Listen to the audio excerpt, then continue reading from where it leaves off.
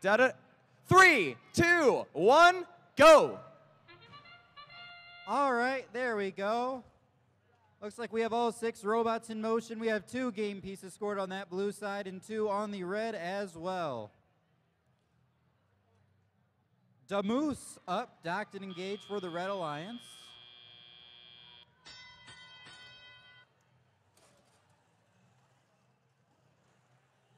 The Electric Eagles have a cube in their position. They go over, score it in that low node section. Wingspan out at midfield, playing a little bit of defense.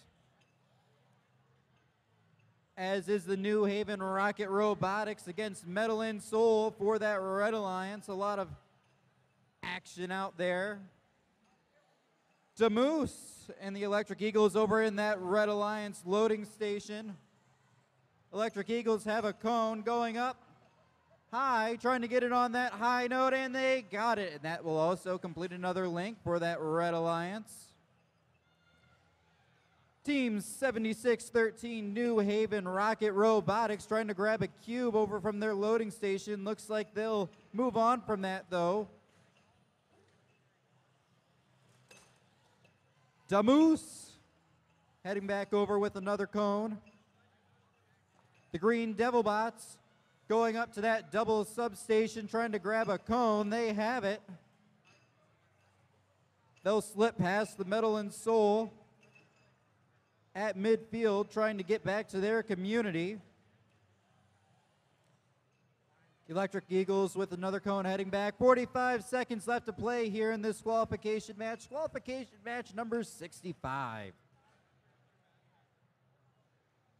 The Green Devil Bots going up onto that middle node, trying to complete another link as we're down to 30 seconds left, and they got it.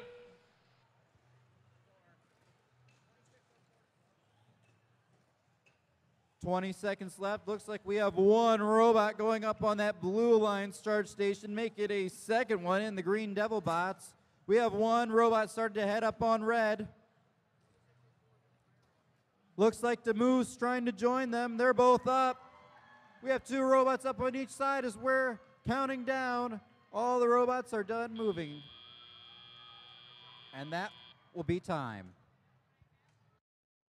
Winning this one 114 to 48, and that'll be three ranking points for that Red Alliance.